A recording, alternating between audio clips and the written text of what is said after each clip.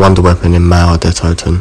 First off what you want to do is open up Pack-a-Punch. Once you've opened up Pack-a-Punch, you're going to want to get Brain Rot on your gun. Once you've got Brain Rot on your gun, you want to go to this room that I'm showing on screen. Once you're at the room, you're going to need to Brain Rot a zombie in that room. Once you've Brain Rotted the zombie, he'll open the door for you and then you can retrieve Klaus's hand.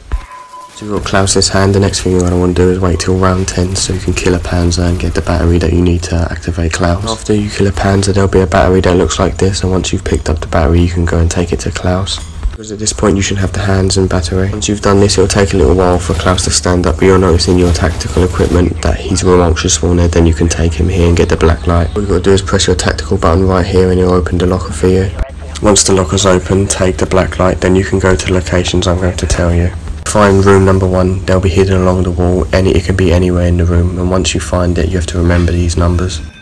There's a total of three rooms, but once you find all of them you have to remember them in order and read it out as a number. For me it was 14, 22 and 17. If you remember these numbers, go back to the room that you got Klaus's hand where you had the brain water zombie and there'll be a safe and on that safe you have to input the numbers in order that you remembered.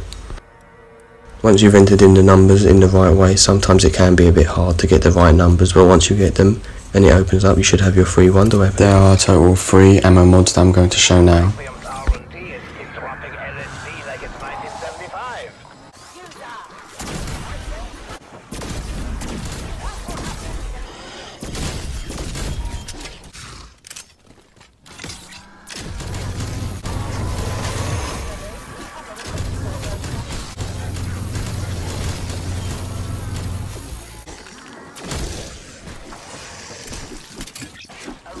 Please leave a like and subscribe if you want to see more content like this.